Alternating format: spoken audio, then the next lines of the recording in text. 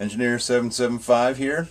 Uh, one of the questions I get a lot about water systems is uh, can I build a water tower um, to get the pressure I need?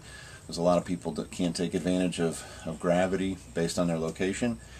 And I tell them it's a lot less expensive to put in a booster pump, a solar booster pump, not just any one. I'm going to show you the system.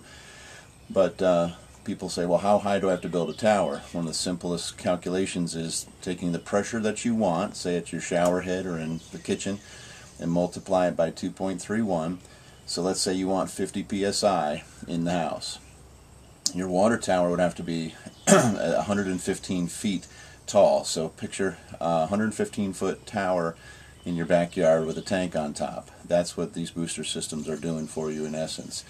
So that could be very expensive to build a tower that's 115, 120 foot tall. So uh, let me show you the components of the system. And uh, on this system, this is the first 24 volt uh, booster system I've done. It's very efficient, very um, low amperage, uh, running a little over seven and a half amps at 50 psi, and plenty of water, plenty of water pressure, and uh, it's working really good. Let me show it to you. Okay, the system always starts with a well, so we had a well drilled in in here, and we've put the solar submersible, which I've shown you plenty of times before. That's in there. Hand pumps, as you see, are in there. But uh, on this system, we've put in a 24 volt Dankoff uh, Flowlight booster pump with a, you know, the standard pre-filter and just mounted it vertically. It has a, a, cool new dry run switch. They've improved that on this model, so um, been enjoying working with Dankoff Solar and being able to give them feedback and, and work with them. Great bunch of guys. Um, also, um, there's a lot of charge controllers on the market, and I just wanted to share this Flex Charge charge controller with you. This tiny little thing got them all over the world. It's a it's a neat charge controller in that it uses a different algorithm. It's not an MPPT. Um, you'd have to go to their website and which is uh, flexcharge.com and you can read about it. But I've been using them. This is uh, the fourth one I've used and they're uh, as it says ultra high efficiency. They brag about their algorithms for charging batteries. So uh, it's uh, tiny, adjustable, and it works extremely well and you see the connections and it's important that you fuse your systems properly. And so um, that's pretty much it. And I just put two um, 20 two 12 volt batteries in series to make a little 24 volt battery bank for this. And what we're finding is at 50 psi um, we're pulling about seven and a half amps.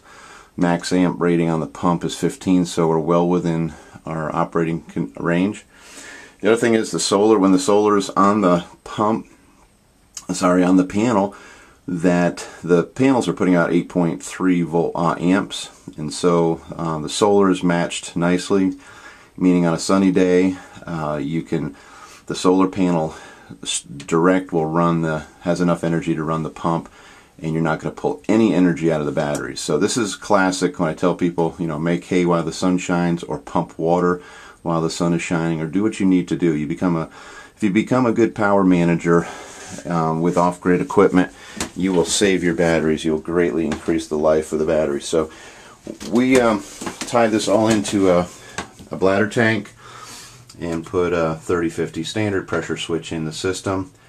It's wired though for DC and I've see, I think you've seen this before. I just want to show you again that the positive is is broken. I'm using all the contacts, and the negative um, goes all the way through, passes through from the motor to the batteries directly.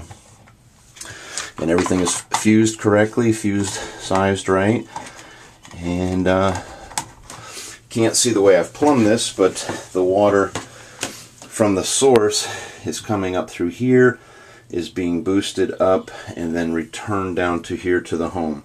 So the system's been tested, got good uh, 50 psi at the shower head.